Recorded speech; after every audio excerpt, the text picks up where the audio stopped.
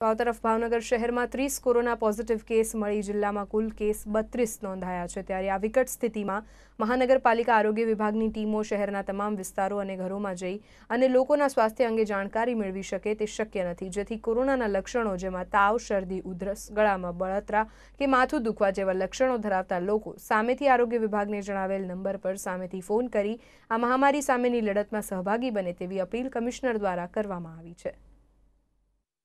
ભાવનગર શહેરમાં કોરોનાના ત્રીસ કેસ નોંધાઈ ચૂક્યા છે, જેને લઈ મહાનગરપાલિકા દ્વારા પાંચ ક્લસ્ટર ઝોન અને જેમાં બે વિસ્તારને હોટસ્પોટ જાહેર કરાયા.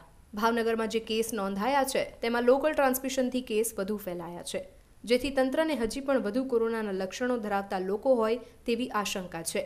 પરંતુ લોકો સામેથી આ બાબતે તંત્રને જાણ કે ચેકઅપ કરાવતા ન હોય, ત્યારે ભાવનગર મહાનગરપાલિકા આરોગ્ય વિભાગ દ્વારા સાવચેતીના ભાગરૂપે કોરોના અસરગ્રસ્ત વિસ્તારને વધુ સારી આરોગ્ય સેવા મળી રહે તે માટે તેર અર્બન પ્રાથમિક આરોગ્ય કેન્દ્ર કાર્યાન્વિત કરાયા છે.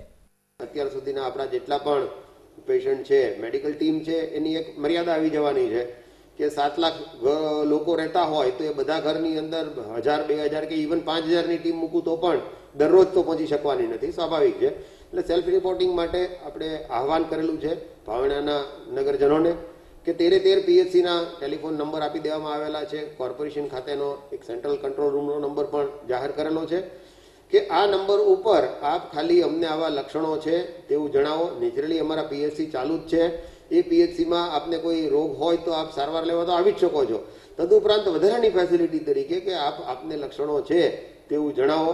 મને કહેતા દુઃખ થાય છે કે આજે ત્રણ દિવસ જેવો સમય થયો છે. માત્ર એક ફોન આવ્યો છે આખલોલ પીએચસી ખાતે. એ જે નાગરિકે ફોન કર્યો છે એને હું અભિનંદન પાઠવું છું. પરંતુ એ સિવાય નહીં, કોઈ વ્યક્તિ આના માટે જાતે સામે નથી આવતી. આ રીતનો સેલ્ફ રિપોર્ટિંગનો અભાવ છે. એ સમાજ માટે સારું નથી.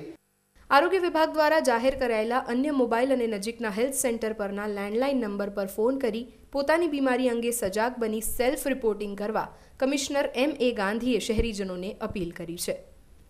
કેતન રાજપુરા, નિર્માણ ન્યૂઝ, ભાવનગર.